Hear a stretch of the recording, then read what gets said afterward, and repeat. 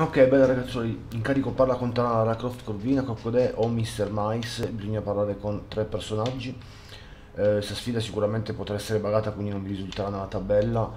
Prima che vi com- compaia potete andare a, pa- a parlare con uno di questi personaggi, accentare un incarico ehm,